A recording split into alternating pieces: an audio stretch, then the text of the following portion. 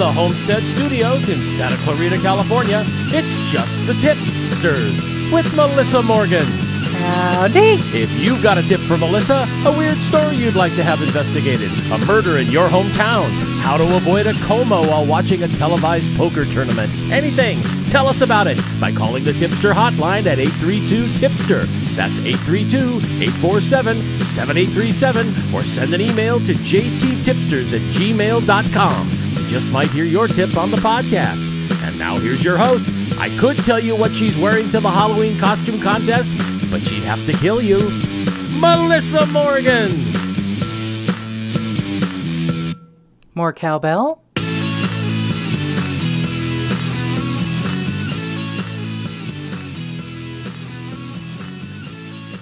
Well, I use the word howdy because uh, this week's case comes all the way from deep in the heart of Texas.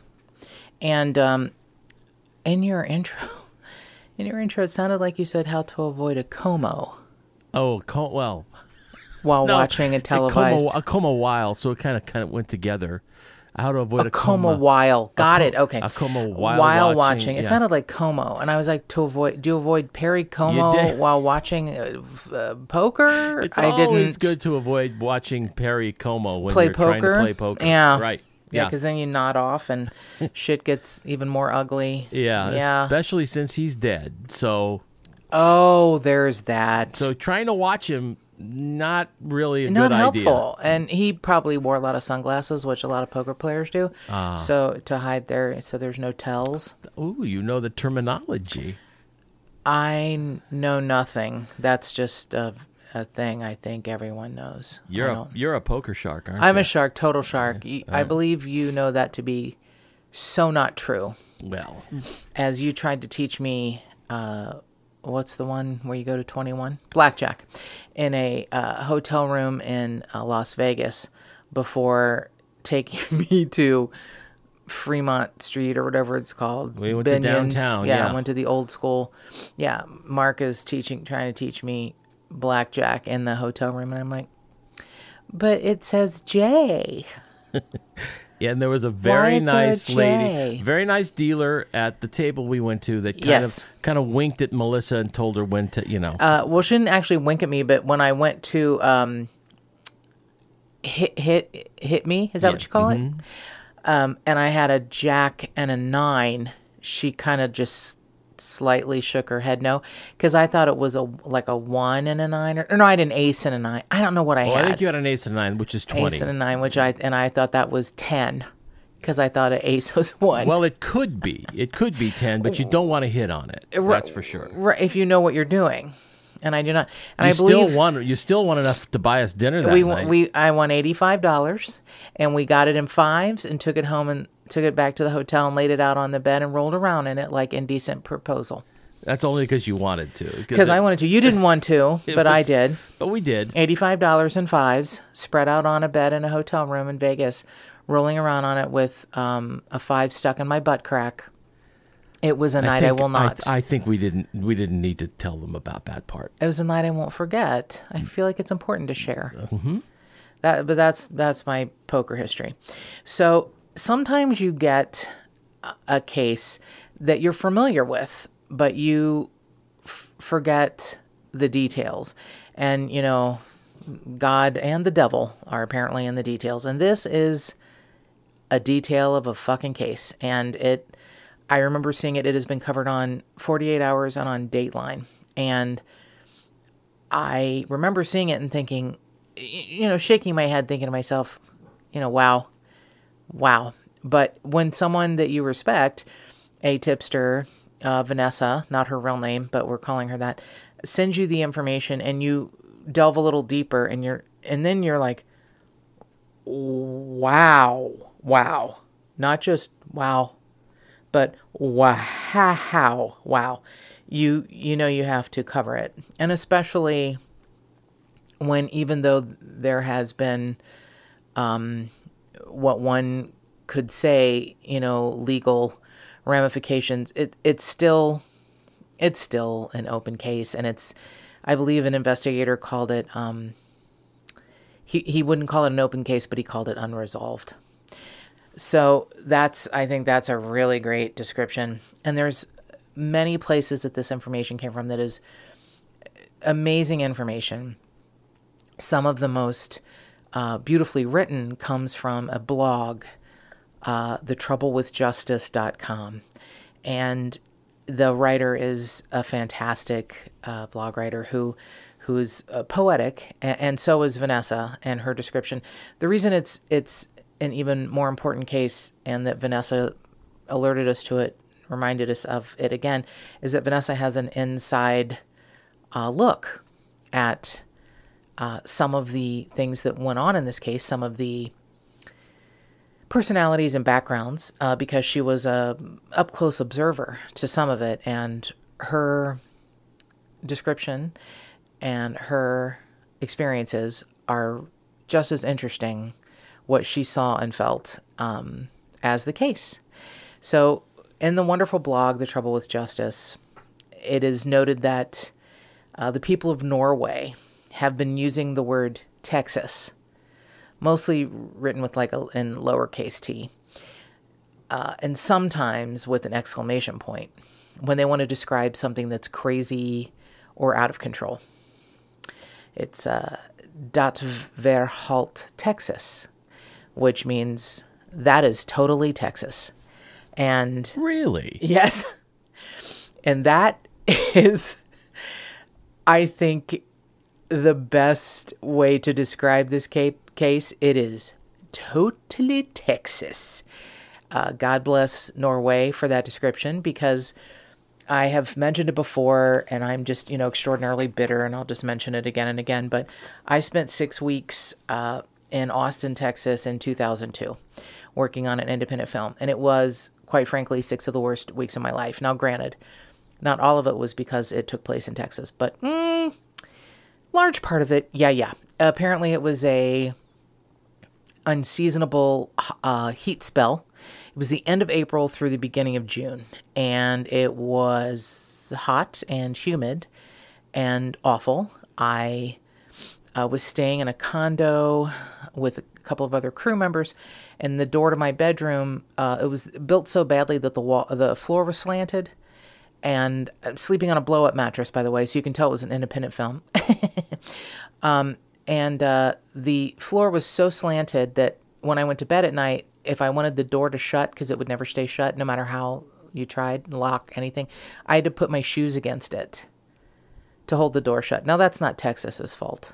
I was gonna say. Yeah, I just let me finish, okay, smarty pants. I know you have a real soft spot in your heart for Texas. I don't cur. You start your own podcast, call it "I Love Texas." By Mark Humphreys. I don't cur. I pray every day that Texas secedes from the Union and goes back to Me- back to Mexico. I pray for that on a daily There's basis. a lot of people there that would love to do that. Yeah, too. I wish they would. Yes, that's exactly what Vanessa said too. So, you know, when we crossed the border uh, into Texas with our wonderful uh, moving truck filled with, you know, uh, cameras and um, set pieces and bullshit, there's a sign that says, Welcome to the United States of Texas. And I thought, Oh, that's funny and quaint. And no, no, that is how they feel. It is, it's the United States of Texas. That's just, that's just it in the handcart. Um, it was just a really I stepped on a it was a really bad experience. I stepped on a mound of fire ants. I have a I still have a scar on my ankle from being bitten by fire ants. It was just it was and that again that actually is Texas's fault. But anyway, so um my love of Texas not at all is is sort of wrapped up not just in the phrase, you know, from Norway, that's so Texas, but from things like this. And this this isn't while it is unique while it is unique in its breadth and scope, I don't know that it's unique for Texas because there's, you know, um, as it was explained by tipster Vanessa, old oil money is like royalty. And I feel like that's probably true. Um, you know, no, I'm not saying everyone in Texas is a hypocrite. There's wonderful, amazing things and people in Texas, but you, you see a lot of, you hear a lot about people with an enormous amount of wealth who pat themselves on the back hard for you know, donating money to charity. There's a lot of good works that come from the oil money in Texas. A lot of good works. I understand and believe that for sure. But on the other hand, there's a lot of shady bullshit that is able to be enacted because you have the money. And it is overwhelming and uncomfortable and awful. But here we go. This is the case of Cullen Davis, and it's it's a big one. So Cullen is a Texas boy, born and raised, who was born in 1933, and he's the middle son of three sons of this very um, well-off oil man, Ken Davis, who I can't even believe I'm saying this out loud as a grown ass adult. His his nickname his entire life until he died was Stinky. I don't. I know. What? That's some classy, some classy Texas shit right there. Stinky Davis. So they didn't come from money, apparently. Well, he he became really wealthy by acquiring oil field supply companies at bargain prices, and then he assembled them under an umbrella corporation called Ken Davis Industries International (KII). I would just call it Stinky Co but that's just me. So after you know he assembles Stinky Co. by buying, um, you know, buying out people on the cheap and then raising the prices, um, he uh, the the sons take over um, his business. He dies in 1968, so the three sons take over. Now they turn Stinky Co. from this little family endeavor of 300 million to over 1.03 billion dollars in 10 years. So from 68 to 78, they have turned it into, you know, something pretty big. And while Stinky Davis was, you know, the kind of guy who was frugal and liked to live on live on the cheap, even though he had, you know, hundreds of millions of dollars, his his middle son, at least, Cullen, was I am going to live in the lap of luxury forever. And that's just going to happen. He also had an eye for the ladies. He had a private jet. He liked furs. Don't know a lot of dudes who dig the furs, but okay, or the jewelry, but a lot of, you know, a lot of pinky rings and shit. So Cullen's brother Bill is not happy with all of the overspending and is really upset that he has $16 million in debt that he has collected personal debt because he has used the company as collateral to get loans. Not smart. Right. So brother Bill sues Cullen and, you know, says this is you cannot use our father's company, Ken Davis International Stinky Co. Industries as collateral for your personal loans. So Cullen and his older brother Ken end up buying Bill's interest out of the business, and then they went their separate ways. You know, for decades they didn't speak after this very kind of vicious tug of war over the business.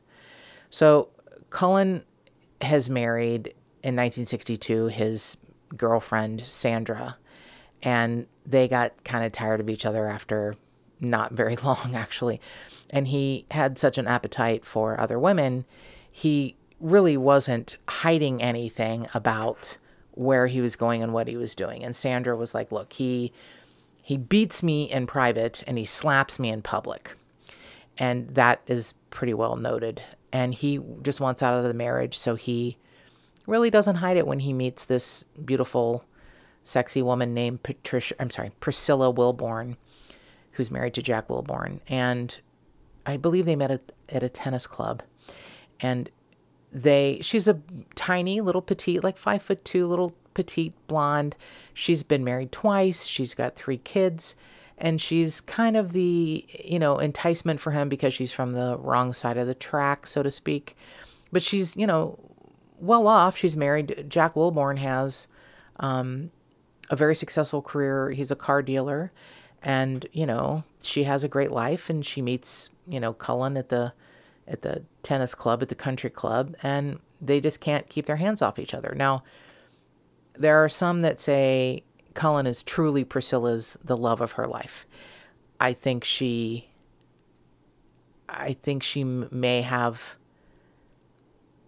she may have disagreed with that, but there was something in her that kept that kept her wanting to stay with him even though he was not great to her. Although she did find her backbone and, and stand up. So for herself and her and her family. So they say she, you know, fell hard for his money and it would be it would be tough. You know, you already are well off, you're not that happy in your marriage and there's a guy who has a private jet and you know, Yeah, even more money. Right.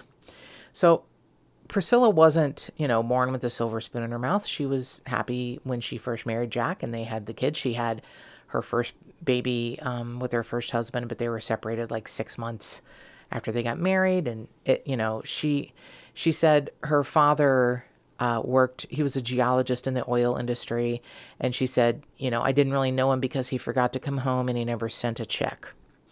So her mom was pretty much the main influence in her life, and her- mom Audie, and never, you know, they just didn't have any money, you know, to to spend ever. And she w- grew up in suburban Houston.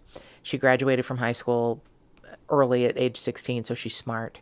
But she married Jasper Baker and they gave birth to her first daughter, Dee. And then, you know, like six months, I guess Dee is six months old when she decides to move on because she says Jasper's cheating. So she not that long after, you know, she's 19 with a with a baby and she marries Jack Wilborn and moves to Fort Worth and they have a son named Jack and a daughter named Andrea. And so she has Dee, Jack and Andrea. Dee with the first husband, Jack and Andrea with um with Jack. And little Jack. So even after, you know, he has lost his wife to Cullen Davis, um, Jack says to, about his ex wife, Priscilla, you know, she's generous to a fault. She's really open and completely unpretentious. And if you call her your friend, you can't have a better friend. So This is after she left him. Mm-hmm. for Cullen Davis for Wow. you know the guy with more money. So that's the kind of I feel like that says a lot because that shows you what kind of person she was. She did not engender a bunch of people who hated her in her life. She I think was a really vivacious, outgoing, special woman and you know, you may have loved her, you may have not, but if you loved her, you, I think you loved her a lot. So they, uh, Cullen and Priscilla end up being a couple after they're divorced. Um, obviously, it's thought that they were together before both of their divorces were final, but both of them denied it. At least Priscilla did. I don't know if Cullen did, but I know Priscilla was like, no, nothing happened until after we were divorced.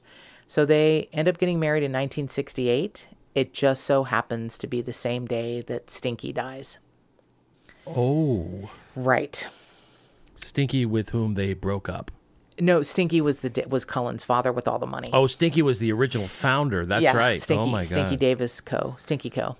Stinky Co. Mm-hmm.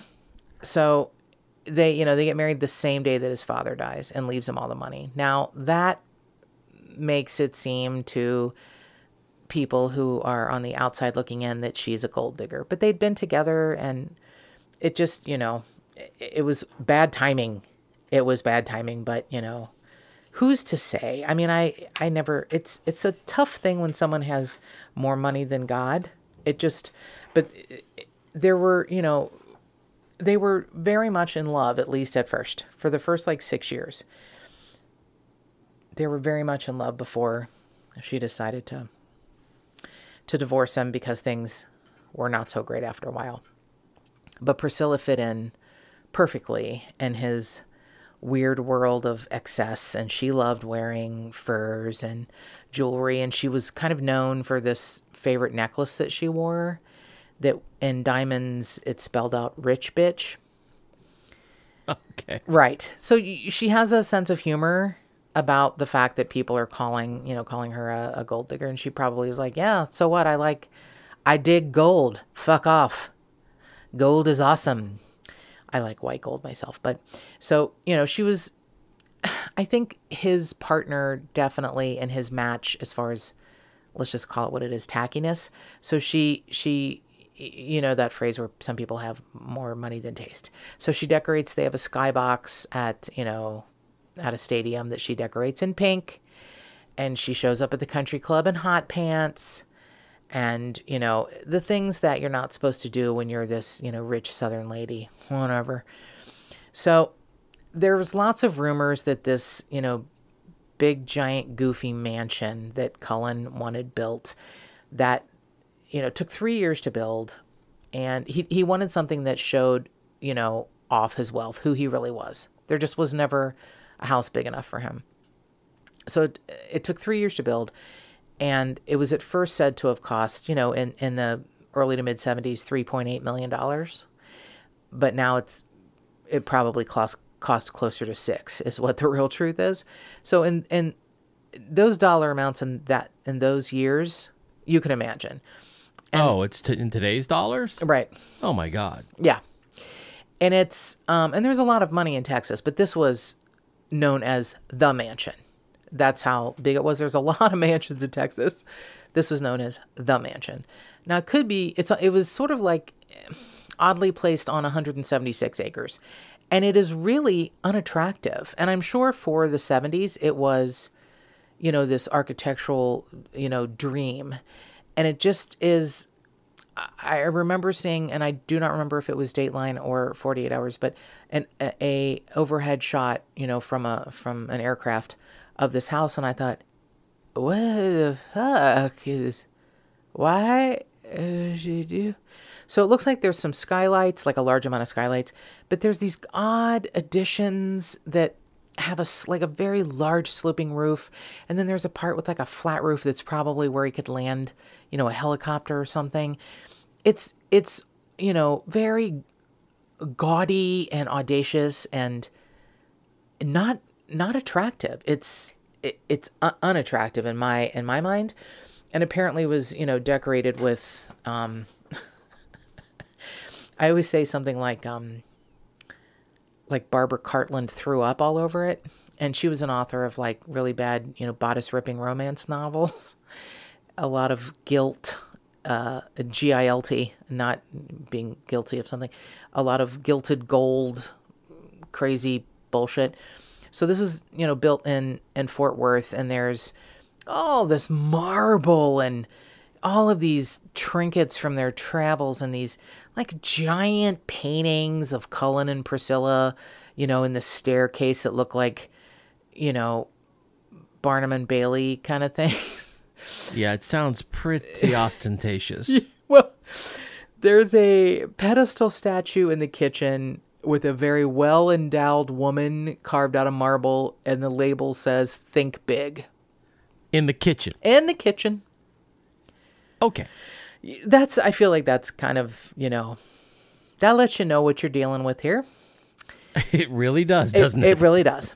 So, after about six years, about 1974, they're pointing fingers at each other you know, you cheated. No, you cheated. You know, you kicked me.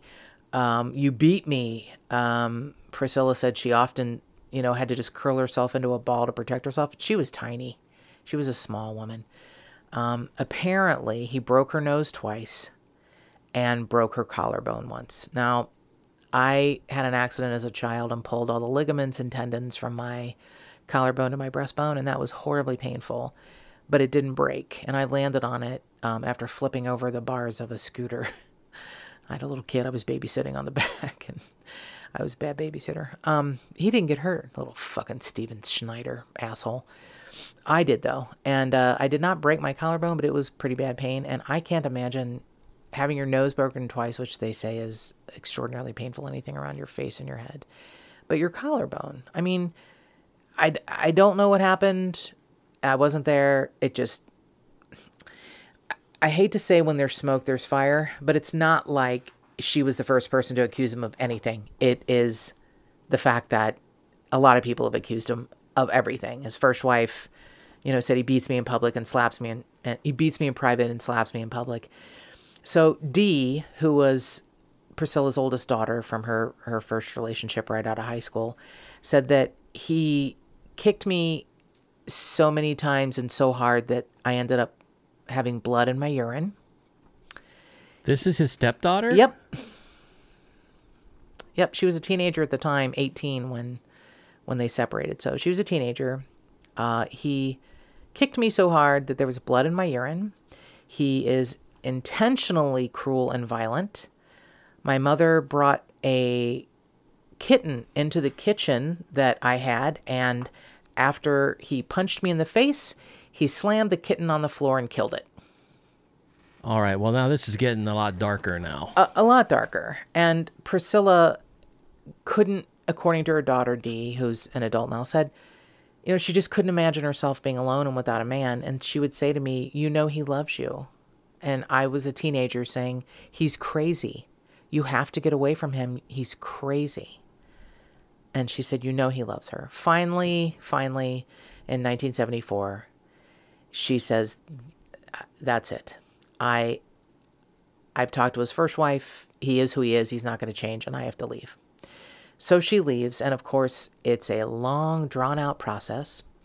And a domestic court judge, remember this name, Judge Joe Eidson, orders Cullen to move out of his own mansion and to pay Priscilla $3,500 a month in living expenses. That's in 1974.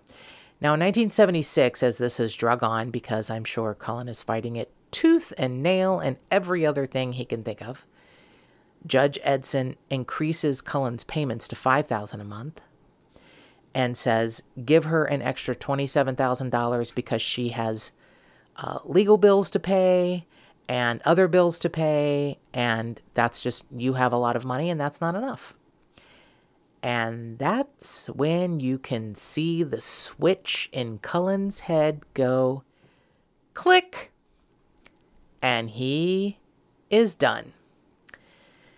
So that night, August 2nd, 1976, after she has gotten a judgment in court for more payment, she is out with her boyfriend, Stan Farr. Priscilla has left her 12 year old daughter, Andrea, at home to do schoolwork. And um, Dee is older uh, and is out of, and Jack was not there either. The, the son. is out of the house. I'm sorry, not Andrea. Dee is out of the house. Andrea is at the house. She's 12 years old. Priscilla's on a date with her new boyfriend. Now, Priscilla's about five two, and Stan Farr was a basketball player. Handsome, younger than her basketball player. And he's about 6'10. So the pictures of them together are adorable and frightening because her once broken collarbone comes to his belt buckle. It's very interesting seeing them together. So they're on, out on a date. Andrea's at home doing homework, and they come back home, and surprised is not the word, but they notice that the state of the art security system that Cullen had installed is not on. She sees a bloody palm print on the wall, and as she's going to investigate, thinking something happened to Andrea, Stan is already up the steps, heading to the bedroom to go to bed. Cullen Davis jumps out from the kitchen in front of Priscilla wearing all black clothing, a long black wig, and he has his hands and feet wrapped in plastic bags. He says, Hi, and shoots her in the chest. Oh, for God's sake. By this time, Stan has heard the commotion and is coming downstairs and she screams at him back away back away don't don't come don't come down here and here's this big giant foot uh, i said basketball and i meant football football star stan farr who tries to kick cullen in the face and he has been shot in the neck but he's a big guy and he has been shot five more times wow now, Priscilla is running to Cullen and trying to to convince him to not do this. And she says, I love you. I've never loved anyone else. Will you please sit down and talk to me? Please sit down and talk to me. And he shoots her in the chest. Ugh. Now, she has been clawing on him, clamoring on him to not kill Stan and her, and after he shoots her, he lets go of her for a second. She holds on to her chest and she runs to the neighbor's house. This is what uh, at least one. Did, did I count right? Two gunshot wounds to the chest. One gunshot wound to the chest. Stan has been shot five times. Oh my God. Stan is shot in the neck, and then five more shots to the body because he's a big guy. He's a big guy. So, a friend of her daughter, Dee, the one who's out of the house, shows up with her friend because they were supposed to be coming over to the mansion to stay over. It was so big you wouldn't know if there were a couple of teenage kids there. The gunman, Cullen, runs out chasing after Priscilla, who's running to the neighbors, and he shoots his stepdaughter Dee's friend and her friend in the driveway. Now, Beverly, the, the friend of her daughter, recognizes Cullen also. Now, Gus, her friend, has never met Cullen. But when someone says, It's Mr. Davis, Mr. Davis is shooting us, you're going to remember that, right? Uh yeah. Yeah. It's it's Mr. Davis. Please, Mr. Davis, don't shoot. Don't shoot. So Beverly and Priscilla run to get the neighbors to call for help. Now, we find out later that Gus survives also, but he is paralyzed now. He was just there with his friend Beverly coming over to these, you know, rich people's house and stay at their mansion. And he gets shot and he's paralyzed for the rest of his life. So Priscilla survives. Beverly survives. Wow. They have a long road, and Gus survives. They have a long road ahead of them. But Stan Farr is dead. And remember, Andrea was there by herself doing her homework. Oh no. Mm hmm. She is downstairs in the basement. She had been hogtied, was made to kneel, and was shot execution style. Good lord. yeah priscilla's you know daughter with with jack cullen's stepdaughter. Yeah has been shot and it was way before priscilla and stan got home. So now later on it's it's surmised. You know if it were cullen he didn't mean it. He may have thought that was priscilla because Andrea is 12 and almost as tall as her mom because her mom is tiny. But Andrea has long dark hair. Oh, long, Oh, come long dark- on. I Yeah, know, I know. It's not. What do you hear? when you hear the things that are used as excuses? It's it's awful. So the thing that's heartbreaking is that Priscilla had no intention of staying in the mansion. She knew Cullen was going to get his prized home back, and she didn't care. What she wanted was some money from the divorce to live on and she knew something was going on in Cullen's brain because she hired security guards and even a private investigator and talked to people about the security system saying, "You know what, there's problems with the security system. I don't know what's what's going on here, but it's not it's not working very well." And So he was probably messing around with it. Right. Right. It's his, it's his house, God damn it. It's his house that he built, his dream house, which we'll find out later from the wonderful insider information from Vanessa. What a what a fantastic house house this is. It's it's pretty strange that Priscilla said, you know, anyone she could anyone she could get in earshot. She's on a stretcher. She is uh, thinking she's going to die. She's saying, Cullen Davis shot me. Cullen Davis shot me. Anyone, who, the nurses, as they're bandaging her, please know that Cullen Davis shot me. Anyone who could listen, she wants them to know that it's Cullen. And because she's afraid she's going to die and it's going to go with her. And the poor thing, she lives, and yet telling everyone and anyone, yeah, not, not so, not so helpful. She, you know, later on, years later, said, it's really odd that Cullen and I got married the day that his, you know, father died, and our our marriage really is going to end because he killed my daughter. So here's where the Texas part, that's so Texas, really starts to kick in. Uh, Cullen is arrested at the home of his new girlfriend, Karen Master, at home in bed with her. Um, it's actually the next morning, I guess. He is treated very differently from anyone else who'd be arrested for two murders and attempted murder on three other people's lives. He is allowed to put a sports coat on, get dressed after getting out of bed with his girlfriend. He uh, is not cuffed. And there are pictures of him being driven in the back of the police car, and he's got his his hand up on on his on the side of his face on his jaw, like he's leaning, like, hmm. Wonder how I'm going to get out of this one. Boy. The DA's office uh, sets his bail at eighty thousand dollars. Eighty thousand dollars, Which is lunch money.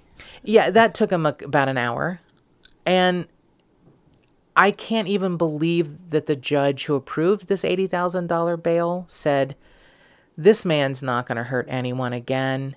The police told me he was quite drunk when they picked him up, and when he gets drunk, he gets really mad. He was just drunk.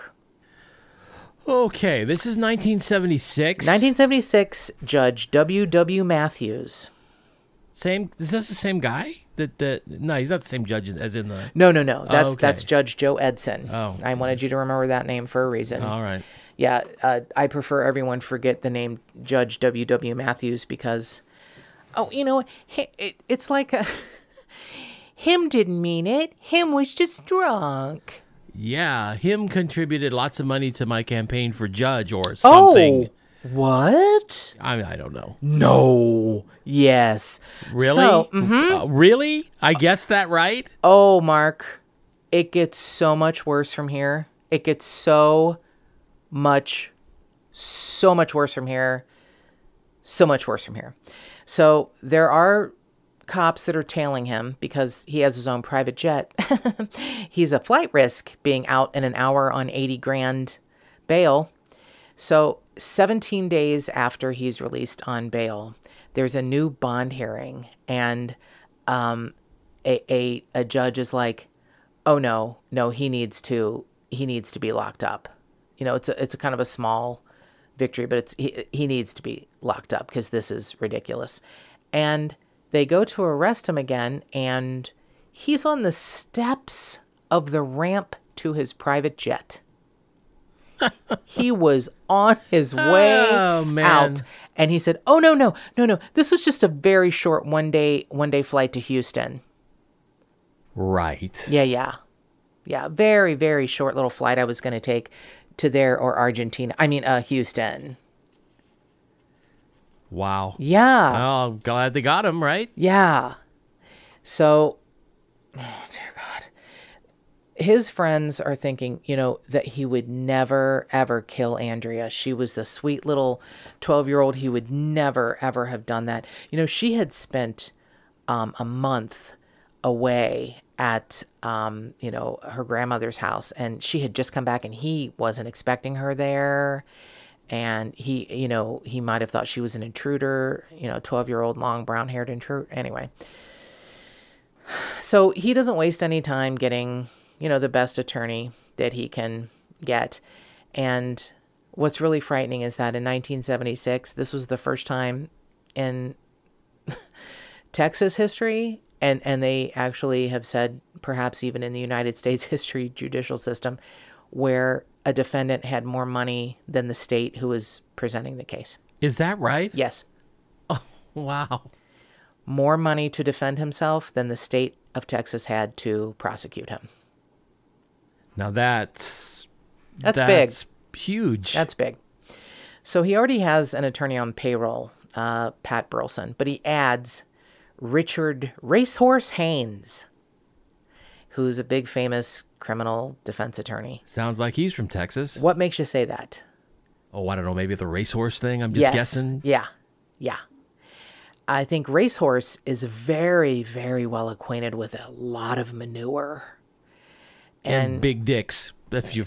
I'm not me. talking about just- the penis part. I'm talking about how much shit he throws against the wall in this case. Yeah, and that probably he's a big dick. Oh, he is a big dick. Yeah, he might have one. I don't know. I He- wasn't talking he- about him personally. he He's died in 2017. I don't care. Okay, good. I hope he's a a, a castrati. Um, so he declared that the murders are drug related and that the mansion was known because of Priscilla's wild ways after Cullen moved out. It's a hotbed of traffic for society narcotics. What? Right. So Cullen was only charged with capital murder for the death of Andrea. And he has never, ever had to answer for the other crimes. Now we'll find out later civilly, he, you know, ends up settling a suit with, with Gus Gravel, who was paralyzed. But yeah. So he is charged with capital murder for the death of Andrea. I, I guess, you know, Priscilla's hole in her chest where she is plagued by health issues the rest of her life, that doesn't count. but- What about the football player that was killed? Oh, I guess that was just a mistake.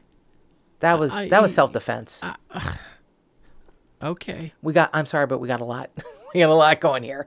I can't. I wish I could stop, but we got a lot to talk about. So, he, his girlfriend at the time, Karen Master, looked like Priscilla, but she looked like the he. So he has a type, you know, blondes, bo- boofy blondes, and this is you know the late seventies, and she and and Karen is a a little more polished version of Priscilla, but but you know, but Priscilla in a different coat. And she's wealthy on her own. She's a wealthy divorcee, and she has two, you know, two kids from a previous marriage. And her son um, had an accident, and he's special needs. But you know, yeah. So she is his alibi the night of the shootings, the murders. She says that he was in bed with her. Now, when they first question her, she says, um, "You know, I had taken a, I had taken a sleeping pill, but I uh, I don't really know where he was. I think he was there with me. And then, of course, the next time she's questioned, she's like, oh, no, he was there the entire night. He was right there next to me. I think I fell asleep uh, with my head in his pants. So he could not have moved without me knowing hearing his zipper. Uh huh. Right. So now this is many years later, but we find out Karen's father, Ray, has ended up bribing the prosecutor's investigator for any information that the prosecution finds on Cullen and how they're going to do their strategy. He paid the DA's investigator $25,000 and he comes back and says there's there's really no direct evidence to connect Cullen. There's no, you know, he had bags on his hands and feet. There's no fingerprints. There's no bloody clothes were ever found. The wig isn't found. And, you know, it's like, but there are eyewitnesses who Yeah. saw him shoot them and know who he is. Two of the three know him very well. You know what? If if she if, if she had died, and that what she was saying about him being the shooter, it would have been a deathbed confession. Mm-hmm. It probably would have gotten him convicted. Uh, honey, I don't agree with you. I'm, I'm sorry, honey. Producer Mark, I don't agree with you. Really? No, it's Texas. Oh God. It would not have been considered a deathbed confession. They would have said she was out of her mind with loss of blood, and she was wrong. Wow.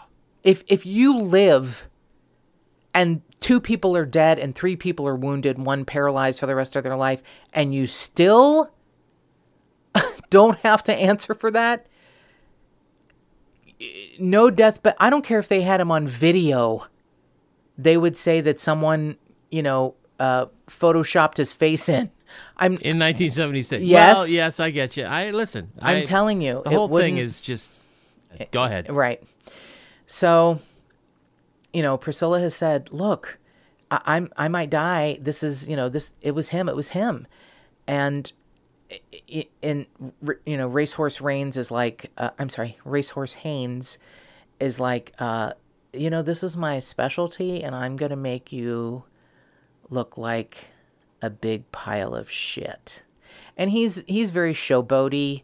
He uh, shocked himself with a cattle prod in court one day to say, you know, it hurts like hell, but it's not deadly. I guess one of his clients was being accused of, you know, deadly force, and he's like, no, that you can't kill someone with that. It hurts, but no.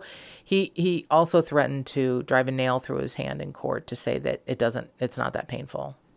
Okay. Yeah. So we know what we're dealing with here. Mm-hmm. A showboat, a showboat who, you know. So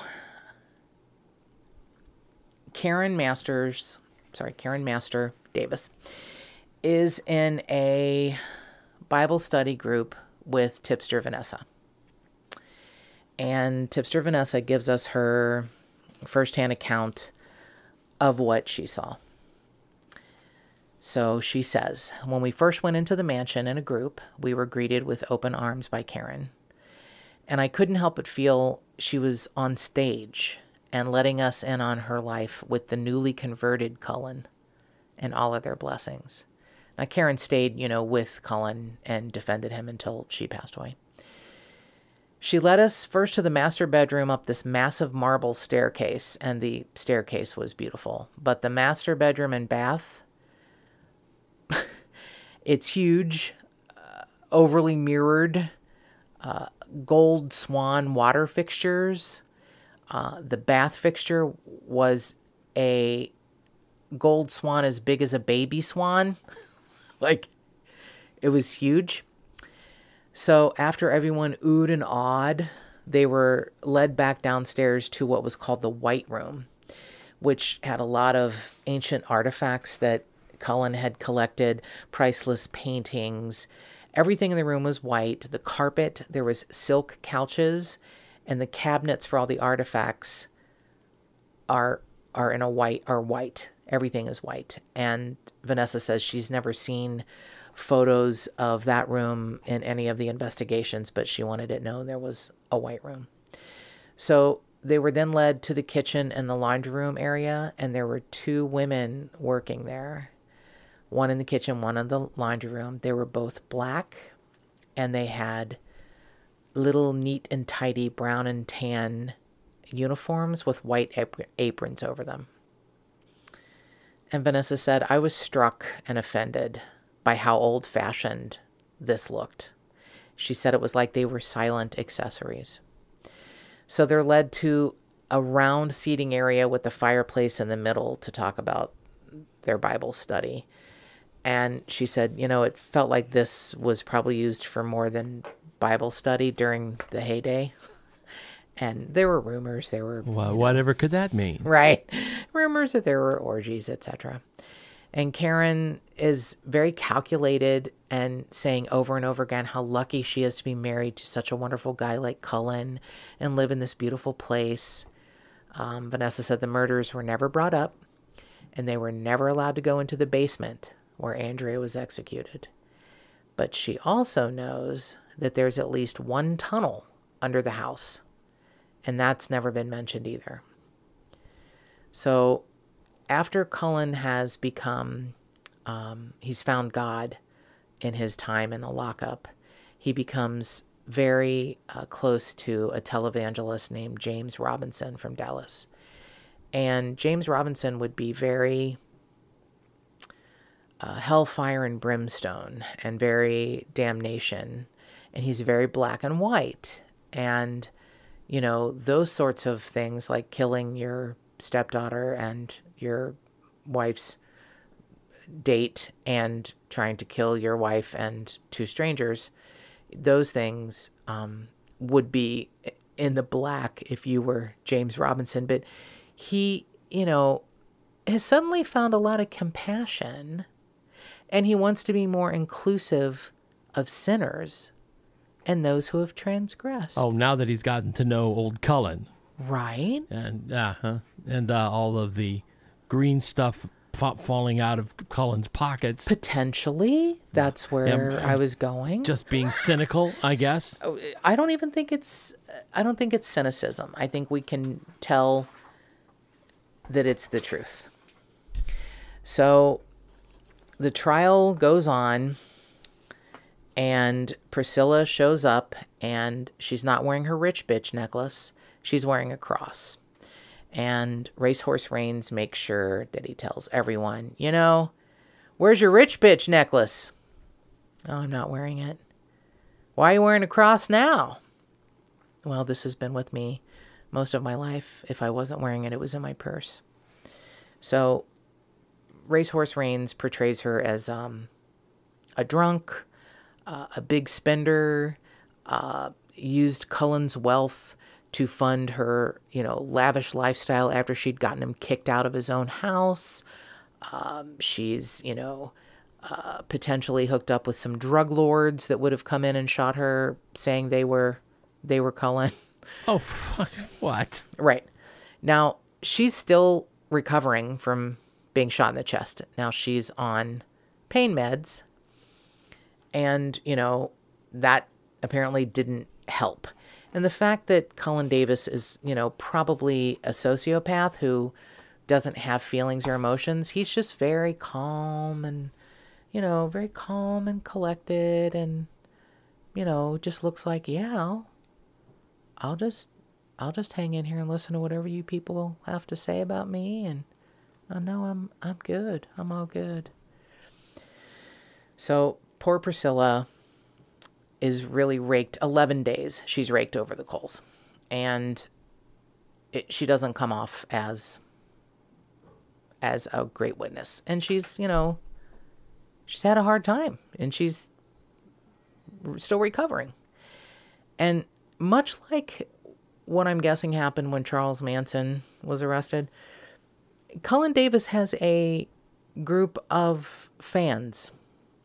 Every day after court when he's led away he is allowed to stop and sign autographs I no. yes No. yes Christ on a crutch. He uh, is allowed to eat gourmet food during the lunch breaks, I guess because he pays for it to be brought in. They actually called it Cullen Mania. His uh, girlfriend, or maybe she's now his wife at the time, I don't know, Karen is there, and there are other very attractive women around him who, you know, walk him to and from court. So he has escorts, female escorts that are like Beautiful. Mm-hmm. And he, you know, they run up to him and are all up in his shit, and he signs autographs for a bunch of women. wow. Women. So Marilyn Schwartz from the Dallas Morning News probably said it best when she said, you know, on the stand, Priscilla was just done in. They turned her into the biggest slut in the state of Texas. Uh, her child was murdered. She almost died.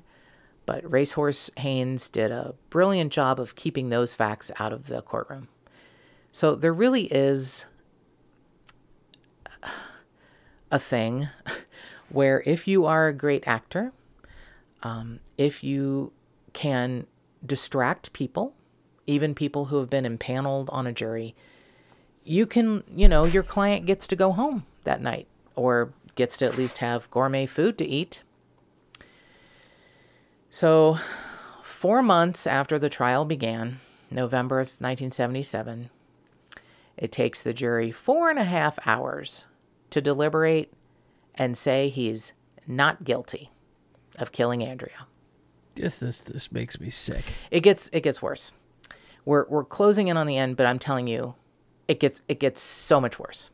So the night he's acquitted, he has a big party at the most popular place in town, and it's called Rhett Butler. So there's tons of booze. Um, there's well wishers, the media, his groupies, the trial judge, The trial judge. members of the jury, and the bailiffs. Okay. Are at his acquittal party at Rhett Butler. Now, some of the jurors actually came out and said, you know, I don't know that he's actually innocent, but there's definitely reasonable doubt. Yeah, and these drinks are great. And these free drinks are delicioso. My favorite juror said, Rich people don't kill, they hire hitmen. Now keep that in mind. Uh, um, okay. So you would think that after being beaten up in court, that the state may have been like, you know what? We're gonna fucking try this asshole for the murder of Stan Farr and for the attempted murder of Gus Gravel and the attempted murder of Priscilla Davis. but they're, you know, I think he's invincible. We're not we're not going to proceed anymore. I think they just they gave up.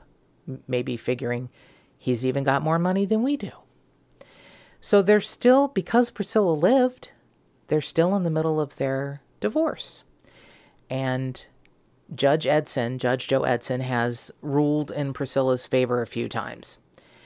And Cullen is like, you know, that that shit that shit ain't gonna fly. And you know that one female juror said, rich people don't kill people, but they pay people to kill them. Oh no. Mm-hmm. No. Yeah. So he approaches a former business associate named David McCrory and says, Here's what I want you to do I want you to kill Judge Joe Eidson, I want you to kill Priscilla, and I want you to kill her daughter Dee. God. So McCrory runs straight to the FBI. And the FBI says, Would you mind wearing a wire? And when he gives you the money, we're going to videotape it. And uh, David McCrory's like, You betcha. Judge Joe Eidson completely cooperated. And like a lot of stings that happen when you try and hire someone to kill someone, he's in the trunk of a car, laying flat in the trunk of a car. And this is the part that's a little bit heartbreaking. What they used to back up the fake assassination is ketchup from McDonald's, hand to God. Okay. Hand to motherfucking God. Ketchup from McDonald's packets on Judge Eidson's body to prove to Cullen that David McCrory had quote unquote killed him. So he takes pictures of Judge Eidson in the trunk. He meets him to to do the exchange. And it's on tape. And it's like this is this is, you know, this is we've got him now truly dead to rights. He says, "So, all right, here's the picture of the judge. Give me the money. Um, you want a lot of people dead, right?" And Cullen Davis says, "All right." He goes, "No, no, wait. You want you want a lot of people dead, right?" All right. Okay. So, he's arrested right in the parking lot after the money exchange. And what do you think Racehorse Haynes does this time? I can't wait. Oh, You- I you- can, you- but go you ahead. Can, but yeah. So he he got paid two hundred fifty thousand dollars for the first case, and he's like, "No, I'm not going to do this for less than two million. This is a bigger bump in the road." A bump in the road. Uh-huh. Yeah. And that's literally what he tries to have it put off as. So what he says is that David McCrory was the bad guy, that the FBI had called Cullen Davis and said, Would you pretend to hire David McCrory to kill the judge, your wife, and your stepdaughter? Because we're going to catch him. I, I, my head is spinning now. Your I- head should be spinning. Yeah. The FBI is like, why would we ever contact him? We would, it, this is a farce. And you're still trying to make this Priscilla's fault. you, this is ridiculous. So the, the jurors are like, you know, it's like, how are they not like, all right, we're done? One No. would think. No, no. It's uh, eight to four for his guilt, and it's deadlocked. It's uh, called a mistrial, and they are done. During this trial, it's uh, his birthday falls during the second trial, and he had a little party in his cell, including the sheriff of Fort Fort Worth, who actually brought presents to him. And do you know what the presents are? his old prison uniform from the first trial and a hacksaw and a you know um, a fake key to the jail.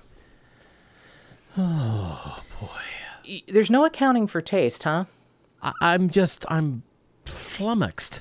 so november 9th of 1979 the jury comes back deadlocked 8 to 4 he walks out a free man. Wow. Right. I, I there's nothing I can say other than wow. I'm I'm I, I'm just I'm at a loss for words. Right. So there's a retrial, and this one is really fascinating because Racehorse Haynes gets a linguistic specialist to be an expert witness. And he said he can tell from the audio tapes that David McCrory had of him asking to murder the judge, his wife, and his stepdaughter that he was under duress and that they were trying to trap him. How? What? Yeah. The linguistic specialist said, you know, I just it's it's absurd. The whole thing is absurd. it's way beyond absurd and it's heart heartbreaking. So Judge Eidson, probably to save his own skin, is like after the second acquittal, he's like, I'm retiring. I'm retiring. I can't I'm afraid I'm gonna be murdered.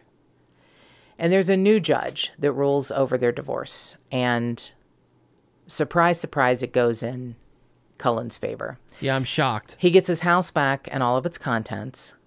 Priscilla receives a settlement of 3.5 million instead of what her lawyers were asking for, and she gives up. So the other victims also have lawsuits against him, and those are much easier to manage, you know, because he's got lots of money. So he does reach an out of court settlement with Gus Gravel, Gavrel, who is um, paralyzed. Um, in exchange, he will not testify against Cullen, you know, at a, a trial in a civil suit. Uh, Priscilla also got a settlement of $5 million, but she's never received any money. She's never received any money. Mm-mm. I wonder how that worked. Um, I don't know, but I can tell you Stan Farr's sons have a suit against him, and maybe he already had um, declared bankruptcy, although I think he was hiding it somewhere. But they received a settlement of $250,000. Now, they've never gotten a dime of it.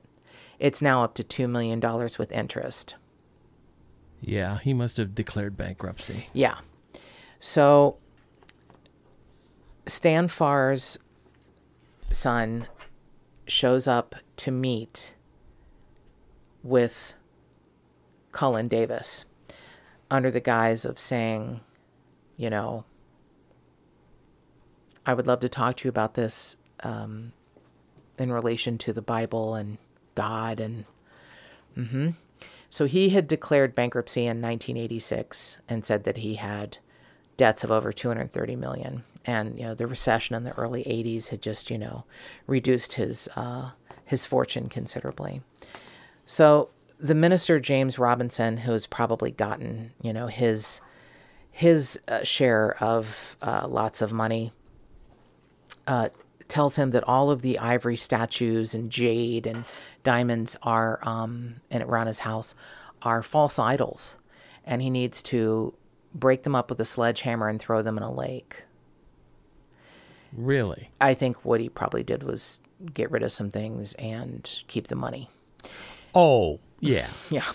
So he starts a, um, Cullen Davis starts a little side gig called Skin Pro Tech 2, and it's supposed to protect the hands of mechanics and outdoor workers. But he really, his main, you know, interest becomes religion. Mm-hmm. Uh huh. He is a member of the First Baptist Church of Euless. Um, you know, when questioned about how religious he really is, he says, I'm in good shape. I have no legal problems to speak of. I'm not a falling down drunk. I'm not on dope. I have no insurmountable problems and I have money. Many people who find God have one or more of these problems. So, what would it benefit me to accept the Lord in my life if I weren't sincere? Oh, I don't know. Maybe you just get away with murder and an attempted murder and murder for hire and Right. So he ends up adopting Karen's two children, so he becomes this, you know, family man. Mm-hmm.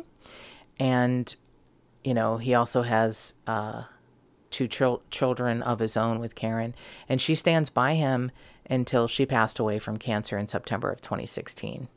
The mansion was eventually sold, and it's sort of an event space now. It's got a steakhouse, a restaurant, and a church. It's pretty fascinating. Sounds very Texas. Yeah. Priscilla died of cancer in February of 2001. She was 59. You know, she survived the, you know, the attempted murder. She lived for as long as she could on the divorce settlement, but she, you know, as her, you know, uh, second husband said, she's generous to a fault.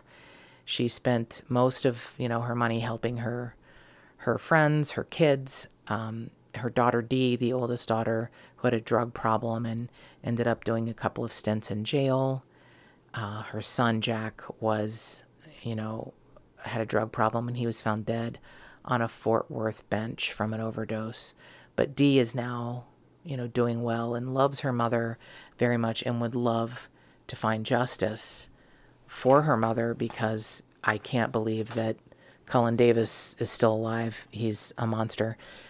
But the thing that Vanessa said that I thought was oh, so beautiful when she got the insider view of the Davis mansion is that the abrupt and disjointed angles of the mansion itself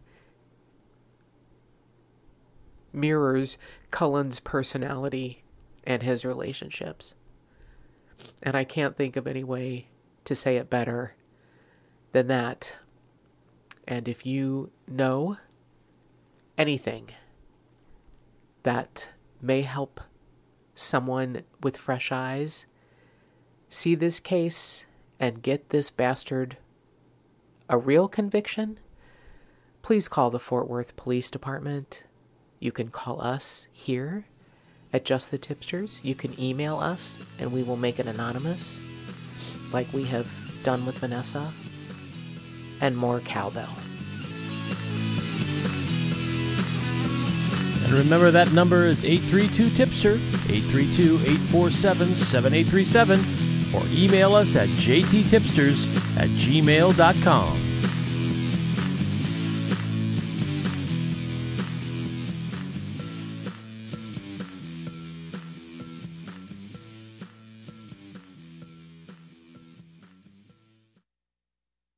Melissa, would you like a Mountain Dew kickstart?